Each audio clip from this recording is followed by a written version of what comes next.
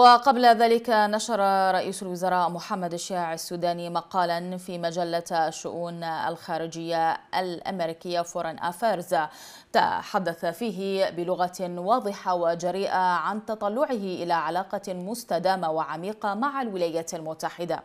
وأشار السوداني إلى تضحيات الشعبين العراقي والأمريكي وقال إنهما يستحقان رؤية فوائد أكبر للعلاقة بين البلدين رافضا في الوقت نفسه التنازل عن حق الدولة في اتخاذ قرار الحرب والسلم.